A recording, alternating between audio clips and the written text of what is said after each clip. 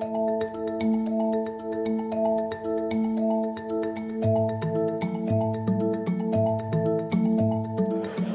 we are at the Synopsys ARC Summit in Santa Clara, California. We're here with our partner ULSee.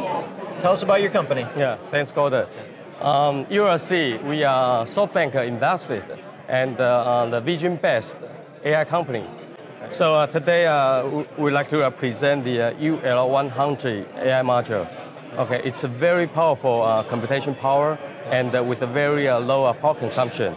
But the most important is uh, it has uh, EV62 built-in. Okay. So this is a silicon solution with the EV62. Yeah, exactly. So okay. traditionally, um, the uh, GPU-based uh, face recognition system like this, it will be it's a million-level database. So we would require server and also GPU card.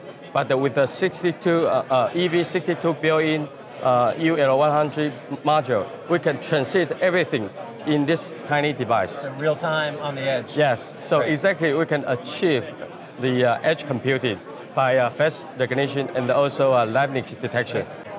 Yeah, so other than that, we talk about we have uh, like uh, ADAS and also DMS, everything that later on we are going to port in on this uh, tiny device so it can uh, work well and across all different uh, industries. So you can use this for facial payments for different applications. Yeah, right? absolutely, yeah. absolutely. We can build this uh, tiny device into a different, for example, like a camera, it will become the uh, smart camera. The door lock become the smart door lock. Yeah. Or everything we That's can uh, with this.